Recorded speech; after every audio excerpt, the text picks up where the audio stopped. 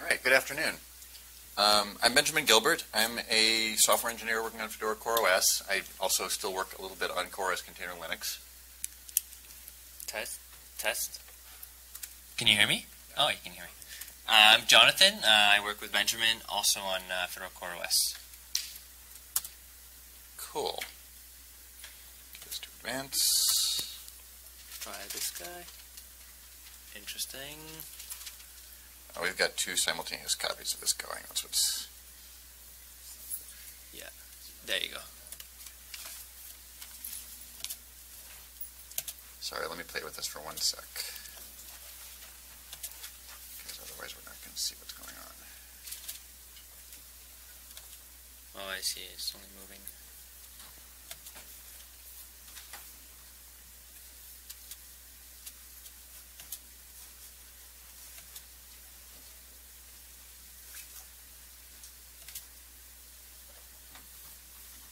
Okay, Let's drag it over.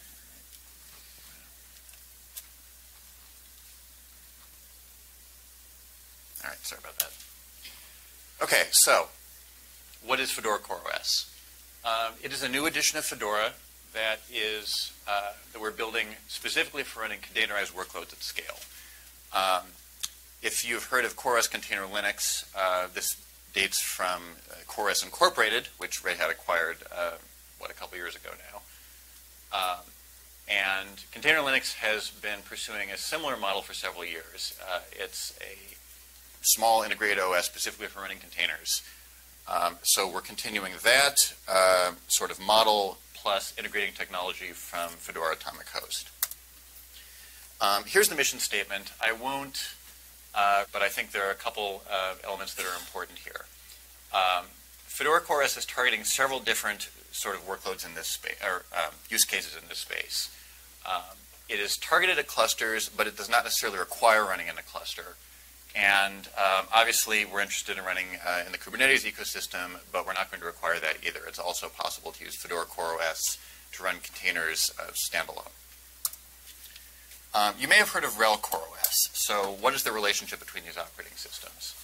RHEL CoreOS is uh, specifically intended as a component of OpenShift. It updates along with OpenShift. It's versioned along with OpenShift. Um, it is based on the Red Hat Enterprise Linux package set. So there's not actually a separate SKU, as we say. You can't uh, download and use RHEL CoreOS as a standalone operating system. It's something that's just integrated into OpenShift, and you shouldn't have to think about it. Fedora CoreOS is targeting a slightly broader set of use cases. Um, it shares some of the components and tooling. It shares a lot of the same people working on it. Uh, but it is standalone.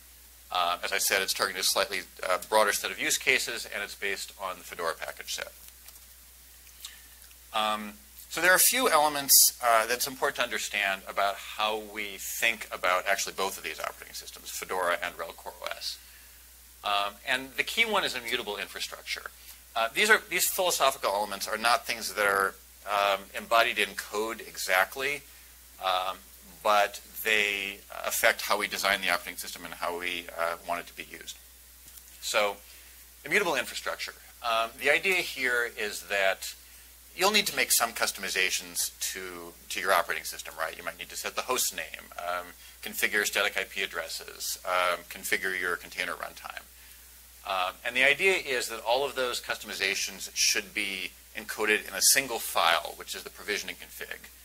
Uh, and then that provisioning config is given to the node when it first starts, and it applies all of the configuration. After that, um, we think that you shouldn't go in further to configure the node. Uh, you can SSH to the node and change things. Uh, you can uh, use configuration management tools if you'd like. We, we don't stop you. Uh, but the problem is that then your provisioning config gets out of sync with the actual state of the node. So what we think you should do instead is uh, change the provisioning config and spin up a new node using it, and then tear down the old node. Um, so essentially, once a, a, node exists, you treat it as immutable. And the reason for that is then if you want to scale out um, due to changes in, in uh, demand, then you can just launch new nodes with your current config and not have to think about uh, configuration per se. Uh, so another philosophical component is uh, that software should run in containers. The operating system is for supporting hardware, it's for providing the container runtimes, but if you're running your own software on the node, it should always be in a container. Toward that end, we don't ship interpreters. We have Bash, obviously, um, and awk and sed, if you count those, we don't ship Python, we don't ship Perl, we don't ship Ruby. Um, if you want those things, run them in a container.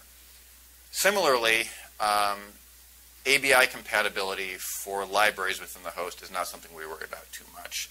The operating system is self-consistent, but uh, if you copy some random uh, binary onto the node, it's not guaranteed to keep working uh, over an OS upgrade. And speaking of OS upgrades, OS versions themselves are an implementation detail. Um, think of the node as something like an appliance. Um, it should auto-update update itself. I'll talk about that more later. Uh, but really you shouldn't have to think about it. And in particular, uh, when a Fedora major version upgrade occurs, if you go to, from Fedora 30 to, 31 to 32, uh, that should just be a regular upgrade. You shouldn't have to think about, about that at all. Um, okay, so what does this operating system look like in a little bit more detail? It's targeted at uh, cloud instances and bare metal servers. Uh, we aim to have it available on a wide variety of clouds, um, all of the usual suspects, really. Um, workloads, as I said, should run in containers, which means that the operating system image itself can be pretty minimal. There's not a lot in it. Um, it's an image-based distro, so you're not running DNF, you're not installing RPMs. Uh, you get essentially a monolithic file system image, uh, and then it is updated atomically. So if you've heard of rpm-ostree, uh, it is, you can think of it a little bit like Git for the operating system. You, uh, you have some revision, and then when an update comes along, uh, you pull that down and apply it atomically to the disk and reboot into it. Uh, so you're never running in sort of a half upgraded state the way you might be with DNF. Uh, on top of rpm-ostree, we add automatic updates. So rpm-ostree, uh, by default, will upgrade when you tell it to same as DNF. Um, we are adding a system on top of that which uh, automatically fetches and installs updates, and again, we'll talk about that a little bit more later. So specifically, uh, what clouds? Um, the targets that we're, uh, that we're focused on right now are listed there. That also includes um, virtualization systems like QEMU. Um, one note, though. Uh, some clouds often you'll find if you launch um, in, let's say, GCP or Azure, um, many Linux operating systems will include those clouds agent. Um, the agent does different things depending on the cloud. Um, on some platforms, uh, it has to check in with the cloud before the cloud believes that the OS is booted successfully, for example. Uh, sometimes it provides additional management functionality so that from the, the cloud's uh, web interface, you can um, add users to, to the node or uh, maybe even run code on the node. Um, in general, we are going to try to avoid shipping those platform agents.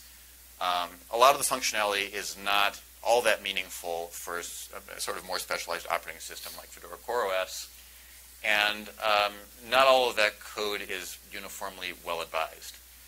And so um, what we are generally trying to do, uh, we have a piece of code called Afterburn and it is sort of a generic minimal cloud agent. So on those platforms where you have to do something special to get network configuration or host name or, uh, or to tell the cloud that you're ready, uh, Afterburn will do that, and we'll use that instead of the cloud agents. On the bare metal side, um, it's pretty much what you'd expect. You install the operating system to disk and run it, uh, except for one thing in some sense, Fedora CoreOS is a, a cloud native or cloud first operating system. And in the cloud, you don't have an installer. There's nothing like Anaconda. Uh, you're just launching a, a, prepackaged image. And so bare metal for, for Fedora CoreOS doesn't have a, an installer either. What we do instead is uh, essentially a shell script. Uh, you run a thing and it fetches a, a monolithic bag of bits and effectively just DDs them to disk um, with consequences I'll get to in a minute. Uh, but the idea is that the install process should be as simple as possible. Um, one other note, Container Linux supports uh, LivePXE. So you can um, essentially just run your entire production OS from RAM and never install to disk at all. We're going to have similar functionality for Fedora CoreOS. This is actually fairly widely used on Container Linux as a way to um, even further minimize the footprint of the operating system on disk. So, uh, what is in Fedora CoreOS? Uh, so, of course, it has all the latest uh, Fedora bits, you know, systemd, kernel. Uh, it's not based on Gentoo.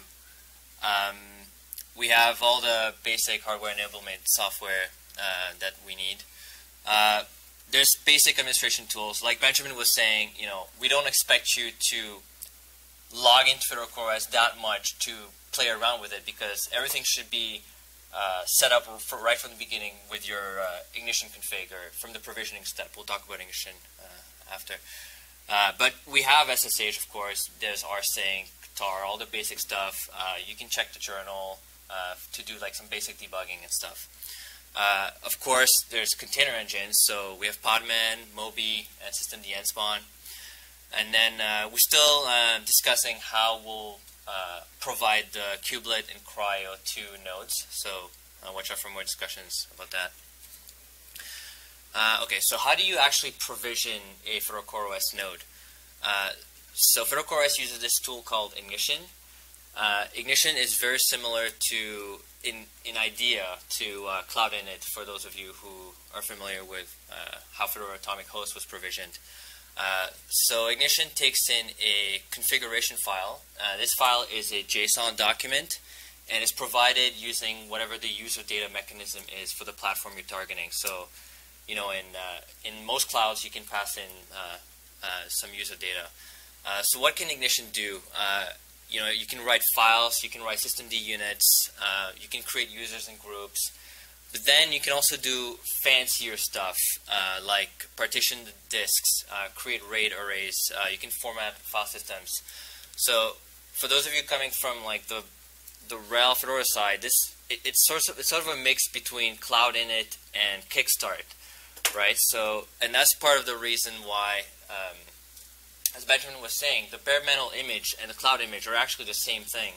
Uh, Ignition is sort of doing taking taking the place of, of Kickstart and and Cloud Init almost. Um, so uh, the reason why we can do those kind of powerful manipulations is because Ignition runs in the initramfs, so it runs even before the system is really booting.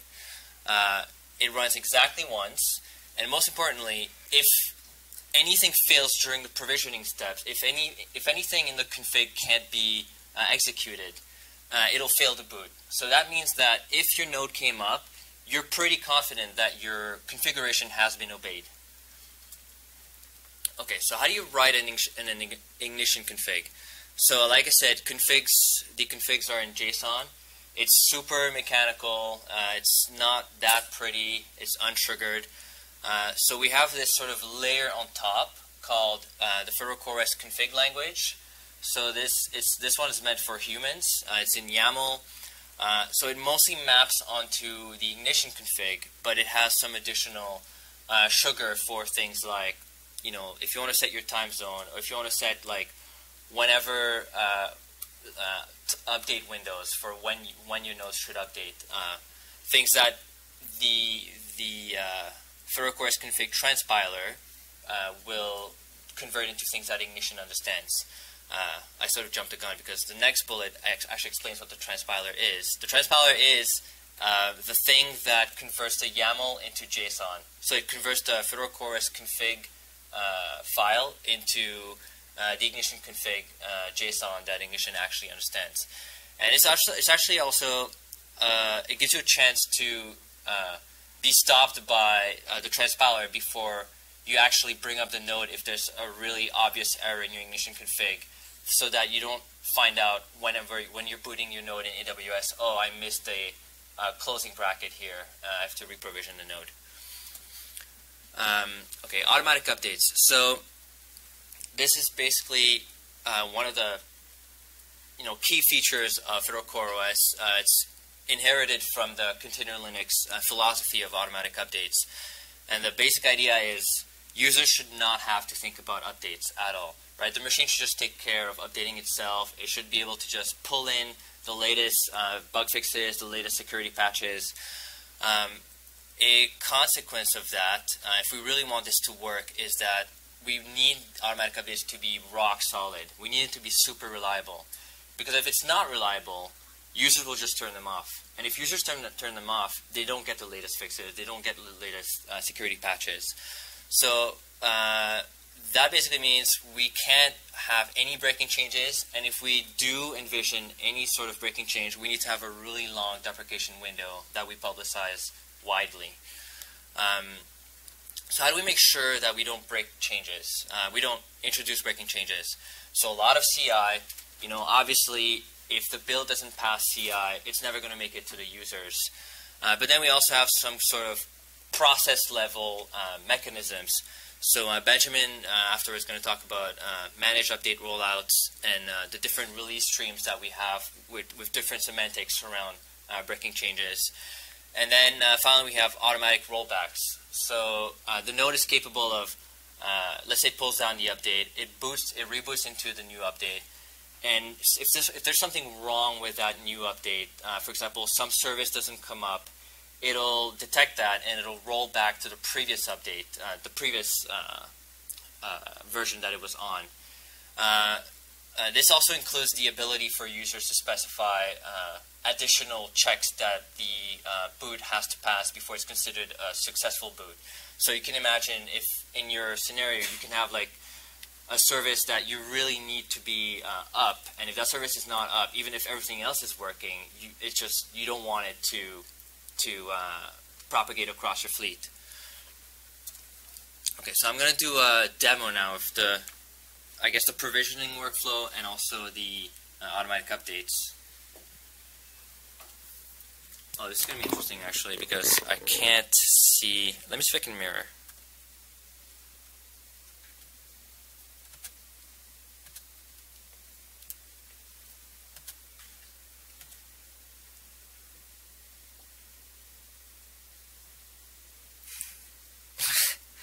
Guess we'll revert the settings.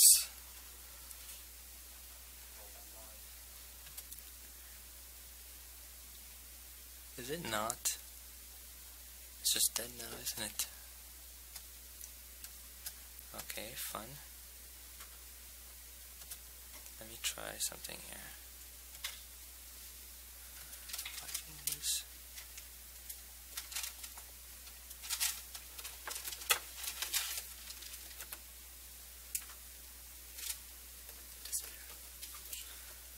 Trying to make it mirror. You know what? Do you mind if I ask a question? Oh, there we go. You, you can go ahead, though. Uh, I'm a little confused. So you talked about the uh, immutability of the nodes, but then you also talked about um, kind of bringing up a parallel system. Yeah, sure. Uh, you talked about the, the, the immutability you can't change the nodes once they're up. we also talked about having updates and a, and a live reboot system, and I just I, right. those were kind of I didn't quite understand how that worked. Right. Uh, we think of the system as immutable from the perspective of the config. So the user, again, is free to change configs of things, but probably shouldn't.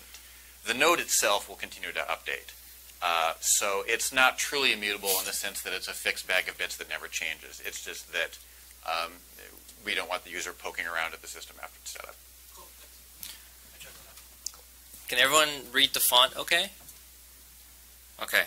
So, so this is a Fedora uh, config. Uh, so it's YAML. Uh, so I won't go through every field, but basically we're telling, uh, we want our config to uh, create a uh, user, a core user, and we want it to have a specific SSH key uh, as an authorized key. And then uh, we also wanted to write out a systemd unit file. So now uh, we have this YAML file, and we'll convert it to, actually let me bring that up, right. We'll convert it to uh, the ignition JSON. So to do that, you use uh, this tool called the Fedora CoreOS config transpiler, uh, shortened to FCCT, and actually I'll just use my bash history here. Uh, so you give it a YAML file. This is the file that we I had just opened, and then we want to output to JSON.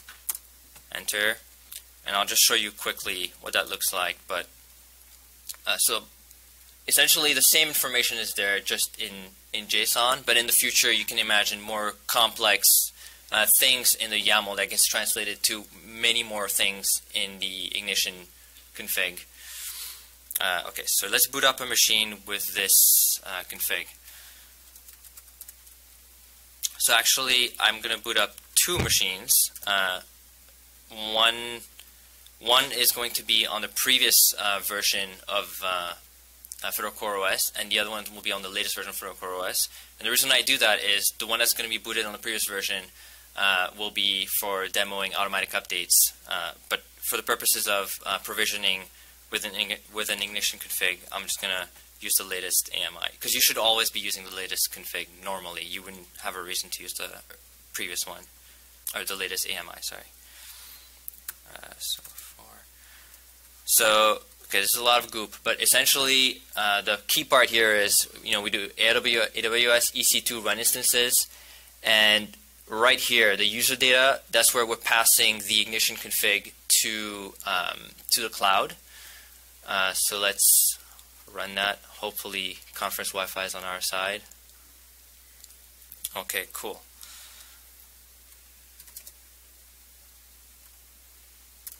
Okay, so I provisioned two uh, two instances. So the second one is the latest AMI. So I'm just going to fetch the IP for that. Uh, actually.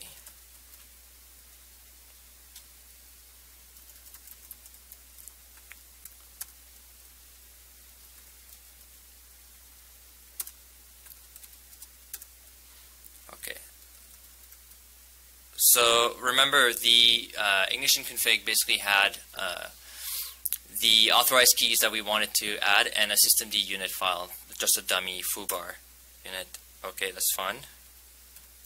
Might have to wait a little bit more. Uh, let's let me just double check here. 380, 140, 187. Okay. Uh, okay. Okay, so we're in. So the fact that we logged in, that means that the SSH uh, uh, config went in. And then let's check our systemd service. Okay, our bar has been food. Very cool. So now let's try a uh, let's look at automatic updates. So I'm gonna log into the uh, the second instance that I booted up, which was actually um, the the older version. Uh, so it's this one.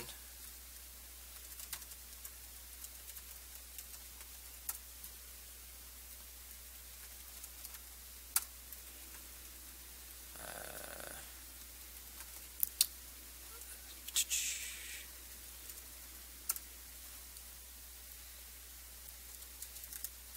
okay, so this is interesting actually.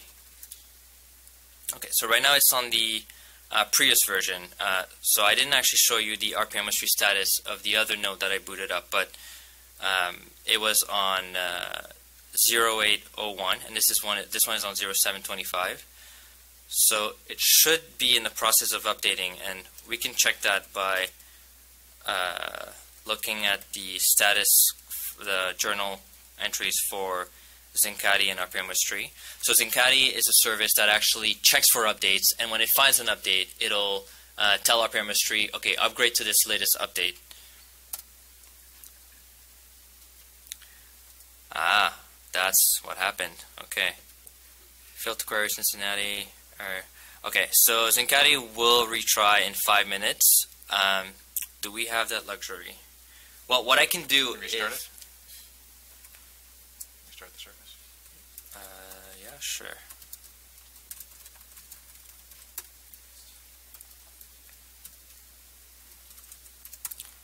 Okay, so now um, Zincati detected a, uh, a new update, and then it's telling rpm-ostree deploy um, this new uh, commit, and now rpm-ostree has deployed it, and now the node is rebooting. Yeah, so what just happened there was that uh, we start the update client without respect to whether networking is already up. Because if the first attempt to check in fails, try again in five minutes, it's fine. But of course, for a demo, it's not so fine. Yeah, let's see how quickly AWS nodes reboot.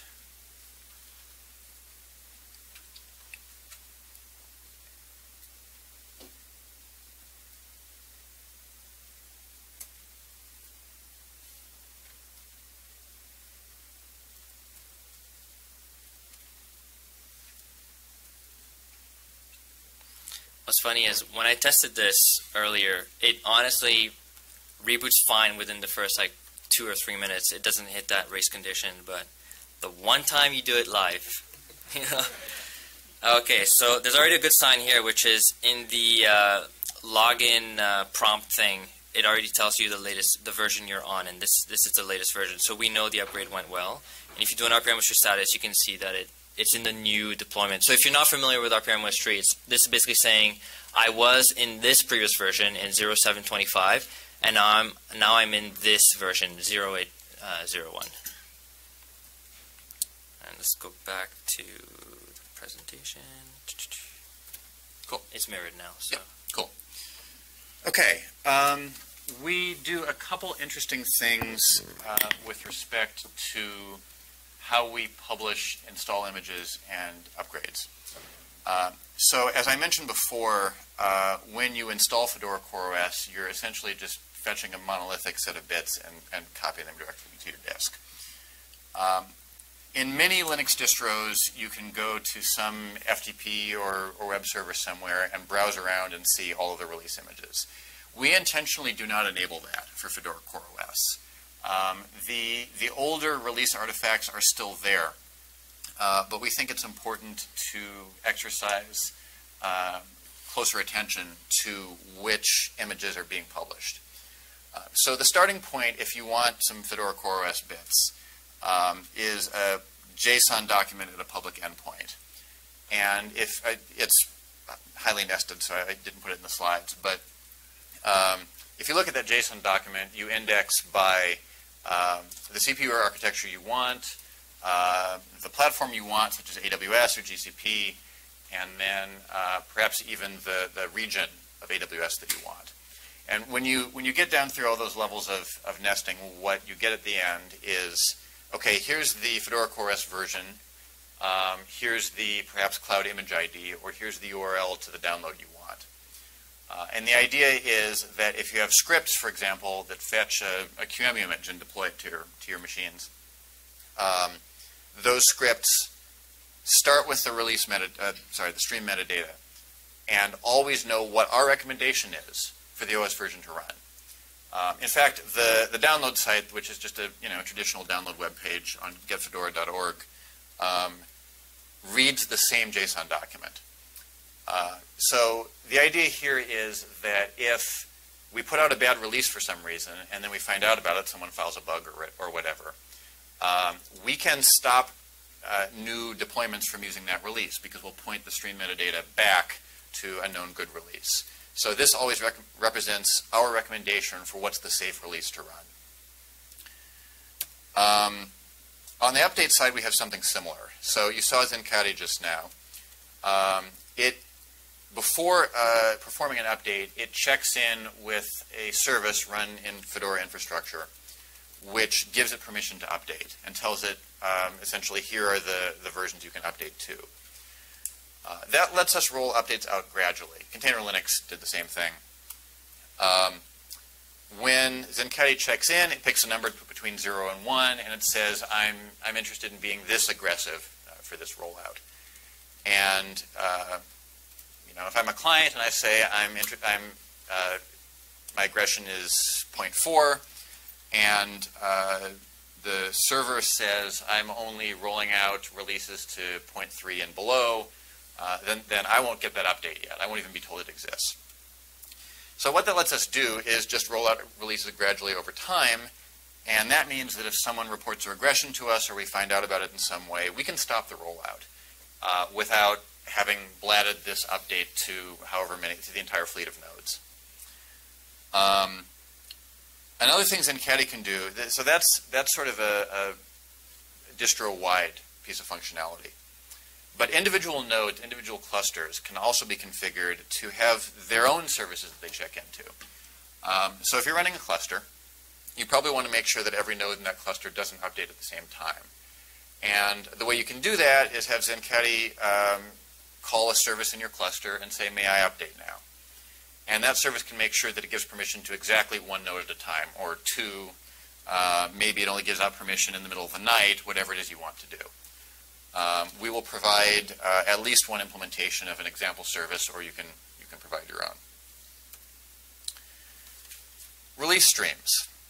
Um, Jonathan mentioned uh, automated CI before. CI is good. It can't catch everything. We are shipping the Linux kernel. We are shipping systemd. We are shipping multiple container runtimes. Uh, that's a lot of code being uh, written by a lot of people, and CI is just not going to catch all of the, the interesting bugs.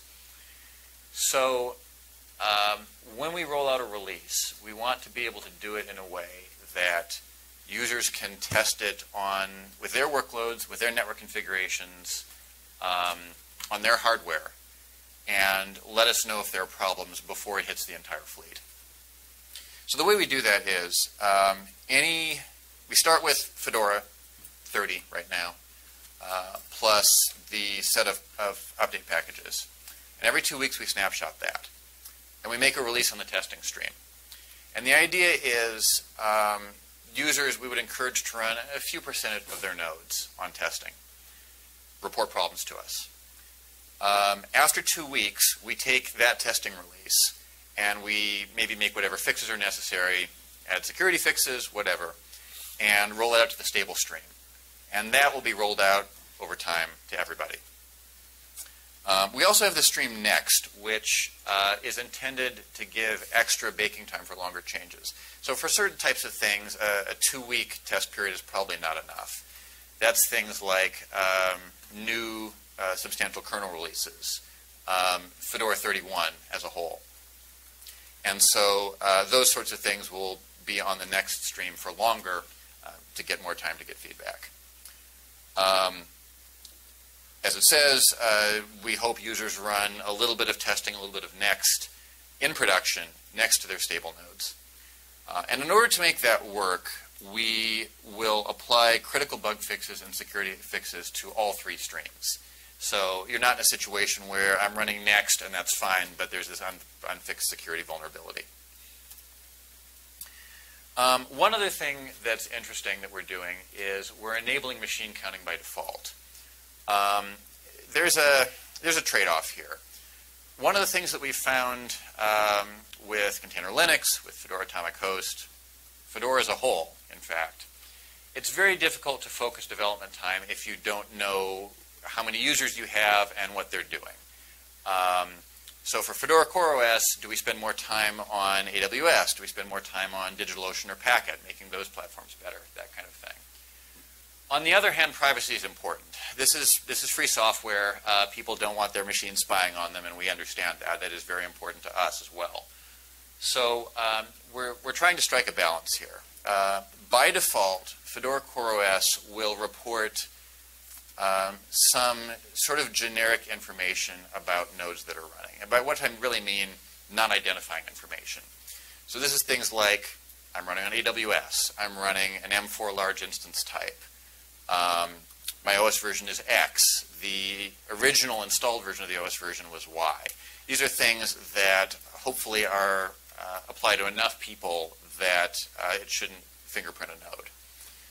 Um, if you want, you'll be able to opt into additional to reporting additional information, like if you're on bare metal, um, what type of machine you have. There's probably fewer of those, so it might theoretically fingerprint you.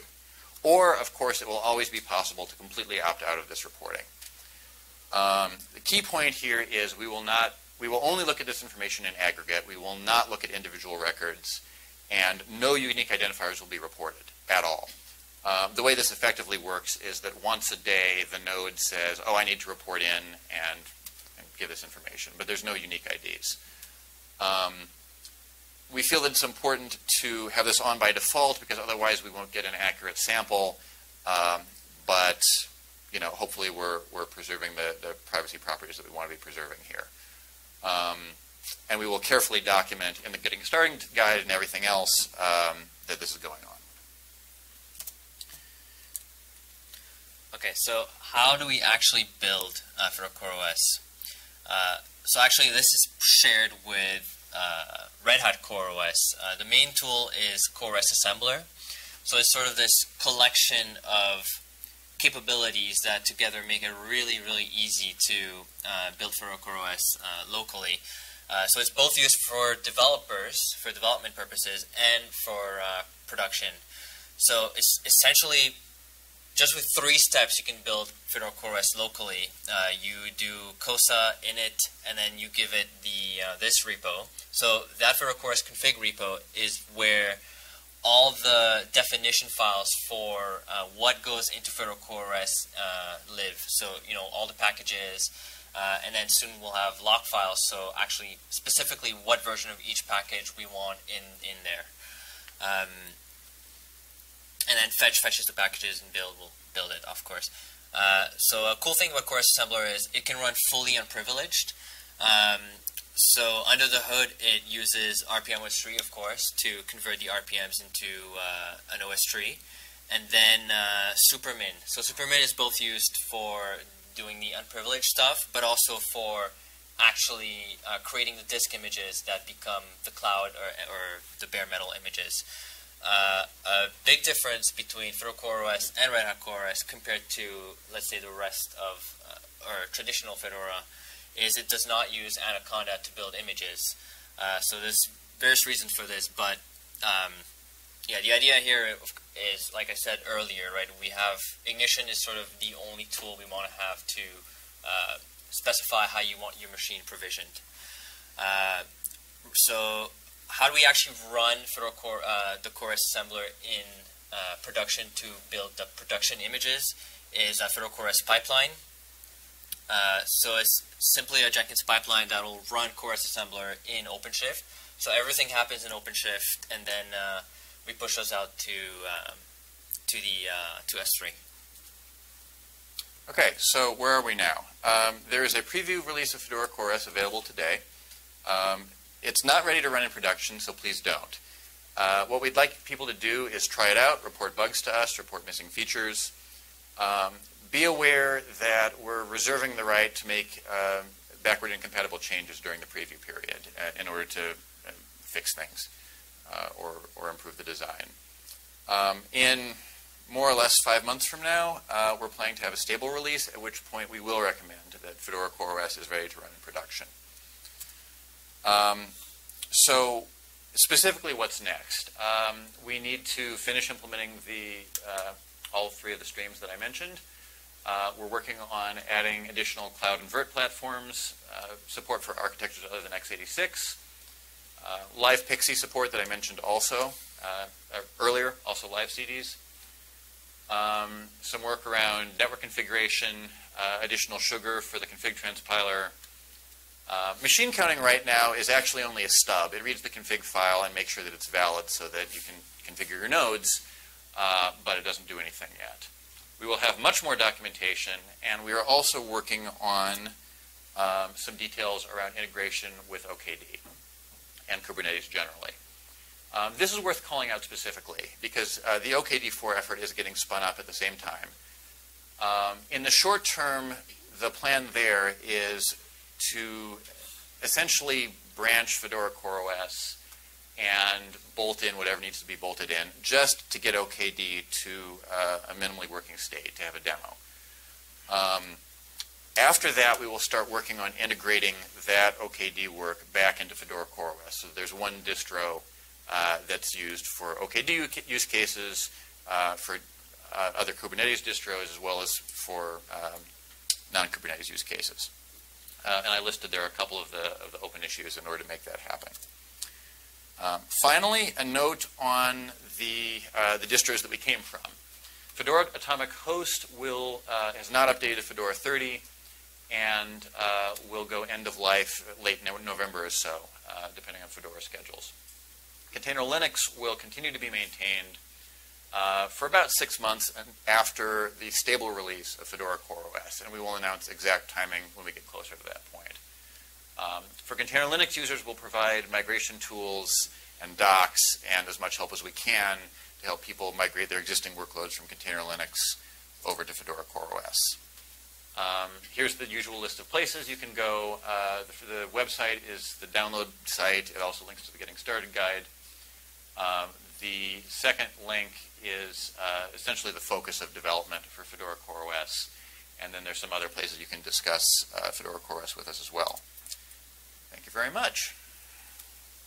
Uh, looks like we have about two minutes left. We can maybe take a question or two, and then I think both of us will be available outside after the talk.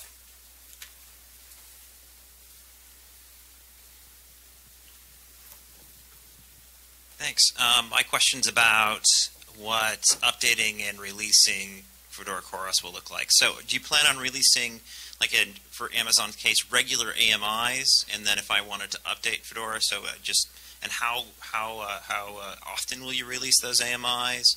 Um, I'm, I'm, hearing nods, so that means often. Sure. So um, the current plan, the exact timing is subject to some change, but all three streams will release at least every two weeks.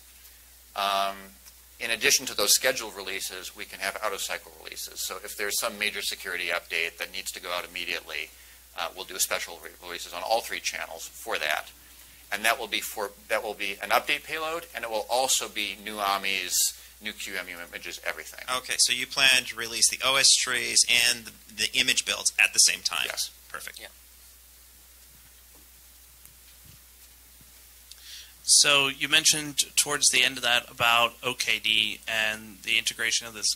When you say by branching uh, FCOS for this, do you mean specifically like there's going to be a separate um, OSTree stream and a separate image stream for this, or is there going to be like some kind of overlay, pa package overlay, or container overlay? What do you mean by that? Because that's that's kind of confusing, especially I came from just hearing the Silverblue talk, and he was talking about all kinds of weird things you can do um, on top of the rpm-ostree core for this. We don't actually know right now.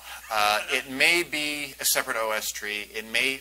That was, I think, what we were talking about at first. Then we started talking about just doing package overlays. Um, the latter approach is cleaner because the, it requires less extra stuff. Um, we want to go for the smallest possible branch. Not clear what that's going to be yet.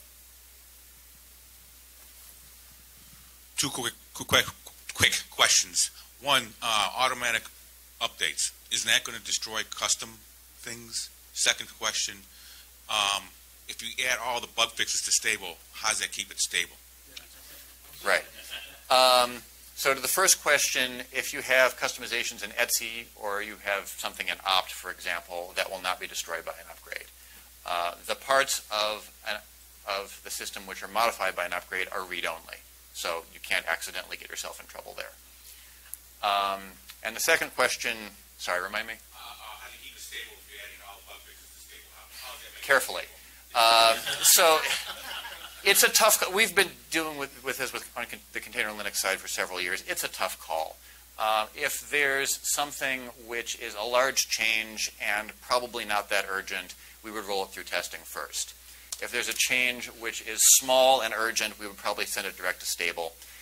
If there's a change like fixing Spectre and Meltdown, which is important and also a giant patch series, we may have to hold our nose and send it directly to stable, and that's not ideal, but it's a judgment call. I would suggest run everything tested and then stable. Yeah, we will. That would be, that would be the right way to do it, in my, in my humble opinion. Yeah, we'll do that when we feel we have to, but with security updates and really critical bugs, there's just there's a judgment call sometimes.